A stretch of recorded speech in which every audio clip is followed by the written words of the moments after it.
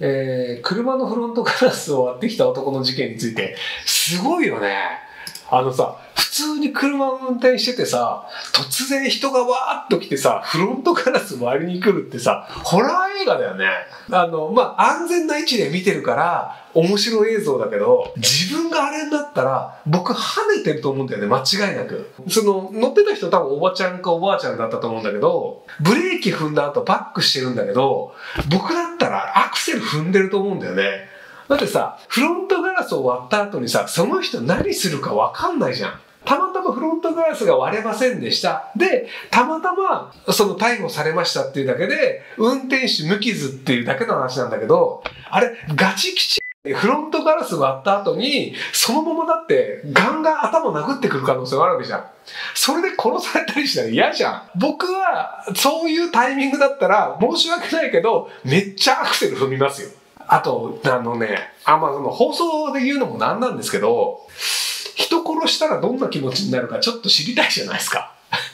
フロントラスを凶器持って割りに来る人をたまたま跳ねちゃったとしても、多分その社会的には僕悪い人にならないと思うんですよ。まあまあ、そんな人が来て、たまたまなんかその気が動転してアクセル踏んじゃって殺しちゃったんだったらしょうがないよねっていう社会的に見られるじゃないですか。なので、あの、本当気が動転してブレーキだと思ったらアクセル踏んじゃったんですって言うと思うんだけど、多分そのアクセル引いて、あの、車がガタンってなって、で、こう後ろを見たらその人が動かないっていうのを見たときに、自分がどう思うか知りたいんだよね。やっちゃったって思う、そのなんか後悔なのか、それともその、あ、僕は人を殺しても大丈夫だったっていうその感覚が得られるのか、なんかその確認をしたいんですよ。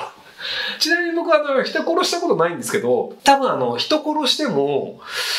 罪悪感感じない気がしてるんですよね。先日たまたま見た動画で、80何歳かの人で、小学生の時に満州に渡って、満州ってもともとその、まあ日本の植民地みたいになってて、で、そこで両親と行った時に、満州に行った後に妹が生まれたんですよ。妹が1歳ぐらいになった時に、ちょうど1945年終戦になりました。で、終戦になって、日本に帰らなきゃいけないよねってなった時に、1歳歳の子とか、あんまり健康的に優れてない子までも、日本に連れて帰るっていうのは無理だよねっていう状況になっていたんですよ。要はその満州から日本に帰る船に乗れる人数も制限されてるので、で、その親がお兄ちゃんに、じゃあ、いつも飲ませてるその食事、これあげといてって言われて、で、その80歳のおじいちゃん、その当時はお兄ちゃんだったんだけど、お兄ちゃんはいつも通りスプーンに入れて食べ物を妹にあげたんですよ。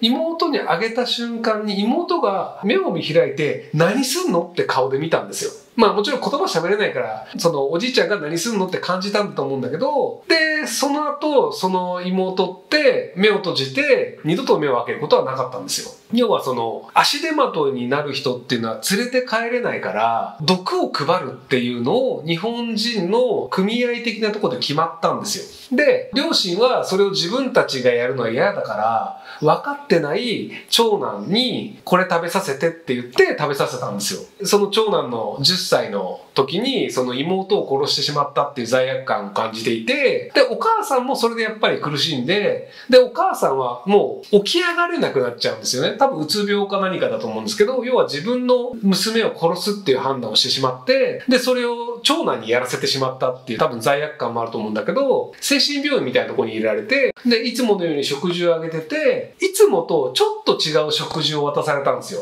長男は。でも、まあなんか、あの、食事これあげてくださいって言われたから、あなんかこれいつもと違うなと思ったからあげたんですよ。で、あげたら、お母さんが泡吹いて死んだんですよ。その長男10歳ね。だから10歳は、その親がこれあげてって言われたものを食事を妹にあげたら妹が死んじゃって、で、病院の人がお母さんにこれあげてって言われた食事をあげたら、お母さんが死んじゃったんですよ。で、そのおじいちゃんって、その今まで自分が妹と母親を殺したっていうのは誰にも言ってなかったんですよ。ただそれが、その戦争ってそういうことが起こるんだよねっていうので、80歳過ぎてようやく話をしたっていう動画が最近上がってたんで見たんですけど、っていう結構えぐい話があるので、で、そのおじいちゃんってその罪悪感をずっと感じ続けたんですよ。でも感じたんだけど、それを誰に言ってもまあ、その誰かに言ってスッキリする話じゃないし、で、それを共感してほしいわけでもないし、それをずっと自分で抱え続けて生きてきて、で、まあ、そろそろ人生終わっちゃうし、戦争ってこういうもんだよねっていう話をするために、ようやくその話をしたっていう人なんですけど、っていうぐらい人って人を殺すのに罪悪感を感じるんですよ。